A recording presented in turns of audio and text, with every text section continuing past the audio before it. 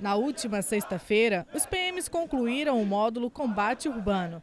Eles foram até alguns bairros periféricos de Belém colocar em prática as técnicas e táticas de policiamento aprendidas no módulo. A gente está, está treinando, preparando o rotanzeiro para tomar esses pontos críticos da cidade aí. A Rotan chega, ela toma, os alunos ficam treinando e praticando tudo aquilo que aprendeu. Ainda no batalhão da PM, os alunos receberam o percurso a ser cumprido.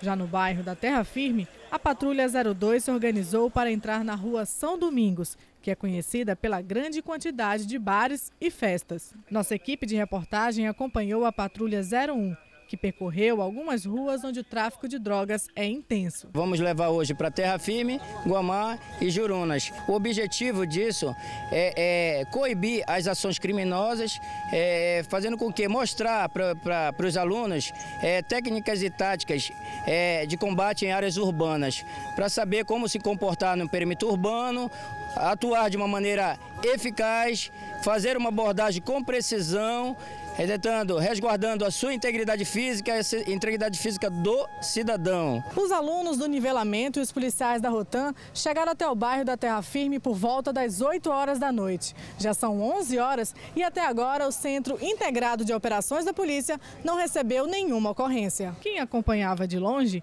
via a ação da polícia como uma simulação. Porém, mesmo em avaliação, os alunos do curso estavam fazendo policiamento real. Segundo o coordenador do curso, após os 15 dias, os policiais estarão preparados para o policiamento especializado da Rotan. Esse policial, ele é preparado, ele conhece todas as técnicas de, de um policiamento especializado e vai ficar capacitado para usar todo o armamento, aplicar as técnicas de abordagem e ser um rotanzeiro.